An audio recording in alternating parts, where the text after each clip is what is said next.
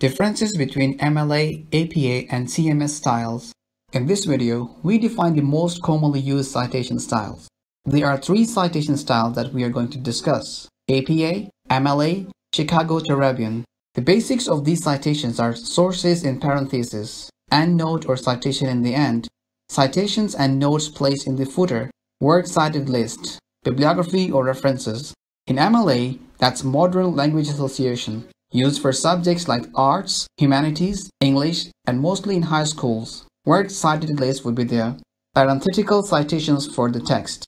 In APA, that is American Psychological Association, used for parenthetical citations after the text, mainly for subjects like social science, health, and education, and ending with the reference list. Chicago or Turabian or CMS, that's Chicago Manual Style, that is used for history and humanities called the Editor's Bible, uses endnotes or footnotes, then ending with bibliography.